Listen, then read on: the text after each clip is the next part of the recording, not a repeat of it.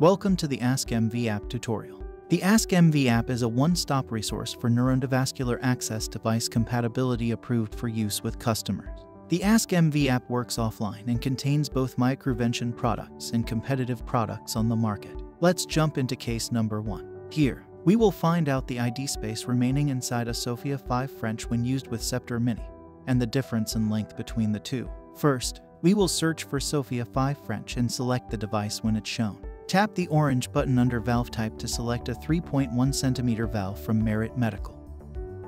Next, tap the orange button under length to select the SOFIA 5 French 125 cm length option. If needed, tap the orange button once more to toggle from the SOFIA 5 French 125 cm length option to the 115 cm length. We'll stick to the 125 cm length in this example. Now we will add a Scepter Mini device to our calculation.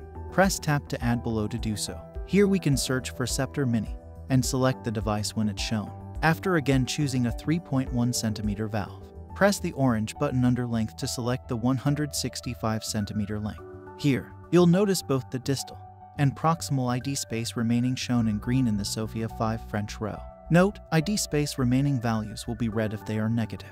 This indicates incompatibility. Then, you'll notice the usable length remaining shown in green in the Scepter Mini row. That completes the first case. We will select New Calculation in the top right corner to reset our calculation for the next example we will go over. In this next example, we will compile the devices necessary for a triaxial access case setup. First, we will search for a bolt ballast device.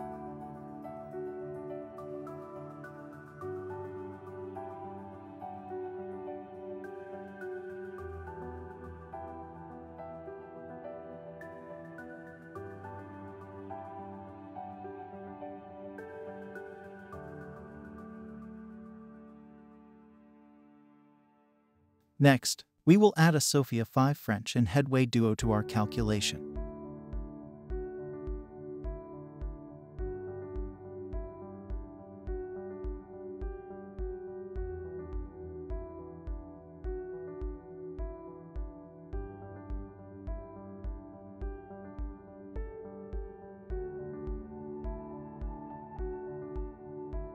To add a guide wire to a device, users can either swipe left on a device or press down and hold on a device. These actions also bring up the options to either edit or remove the device. Press on the Add Guide Wire button and let's add a Traxcess 14 to our Headway Duo.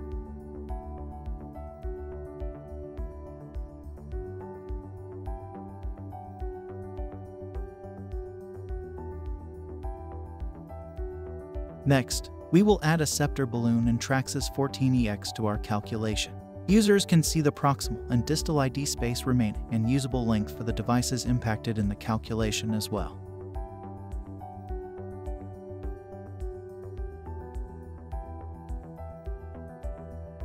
Again, ID space remaining values will be red if they are negative, indicating incompatibility.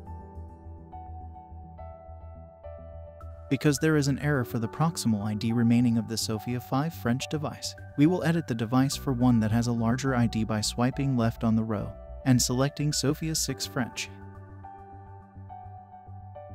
The final feature we'll cover is the unit converter function in the top right. Users can enter a value for any of the three units and it will be converted into inches, millimeters, and French.